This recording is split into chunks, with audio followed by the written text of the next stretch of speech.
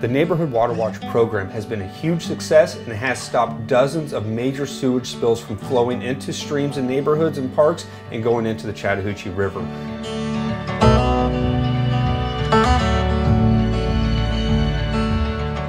When we get high levels of E. coli in one of the samples collected by our volunteers, we actually put on waders and jump into these streams to track the source of where that high level is coming from. Well, we're here at this overflowing manhole and it looks like we found our source.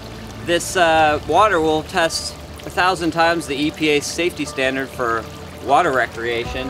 And this tributary right here leads directly into South Utoy Creek. We're about two and a half miles upstream from Cascade Springs Nature Preserve. This is the Utoy Creek watershed. I actually grew up in this watershed. I'm a native Atlantan. I'm Mikita Browning. I am the uh, Consent Decree Program Director for Department of Watershed, City of Atlanta. The Chattahoochee Riverkeeper organization um, and City of Atlanta have forged a very collaborative and positive bond where the Riverkeeper organization notifies us when there's sewer overflows or any water quality issues throughout the city system. This has become like a very important thing to me. I didn't, it, didn't expect it to impact me this way. I took to this thing and I absolutely enjoy sampling the water and bringing it back to know what's in it. I probably had two or three uh, contamination issues on two of my sample spots.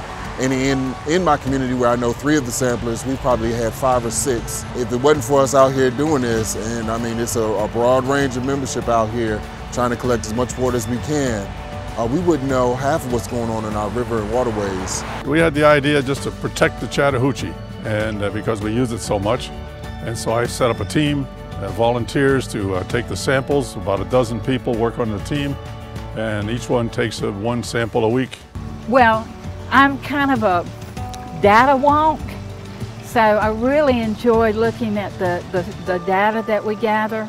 Our volunteers actually become water quality ambassadors for the local community where that waterway is flowing. Some streams are stigmatized as being always polluted and we're finding that that's not always the case. Some of these streams are actually much cleaner than they had originally thought and we're able to bring that to light within the community so people can embrace these waterways and treat them as the real treasure that they are for the local community.